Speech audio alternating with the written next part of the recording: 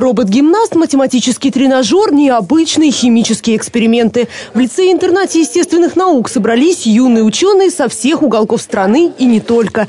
Здесь проходит международная конференция от школьного проекта к профессиональной карьере. Э, сегодня проходит заседание 15 секций. Э, это языковые секции, секции, посвященные социальным наукам, и точным наукам, и естественным наукам, и истории.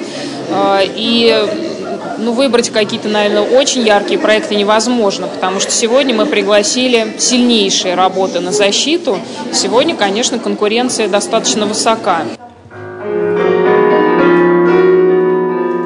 Эта конференция уже 12-я по счету. В Саратов приехали школьники из Азербайджана, Беларуси, Казахстана и восьми регионов России. Всего около 500 участников и больше сотни проектов. Я когда-то нашел жука, и мне так понравились э, ими заниматься. В конце концов, э, я уже перешел к мельчайшим насекомым и э, начал заниматься биологической защитой растений.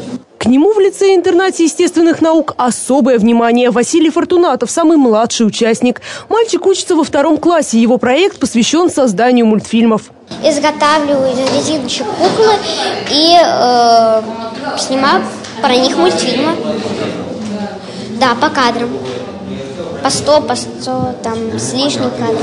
Как автор одного из самых ярких проектов, он заслужил право рассказать о своей работе со сцены. Второй день конференции посвящен церемонии награждения. Грамоты, сертификат на покупку техники. Но самое главное, победа в этом конкурсе поможет при поступлении в высшее учебное заведение. Екатерина Молчанская, Гришишилин, Новости, Телеобъектив.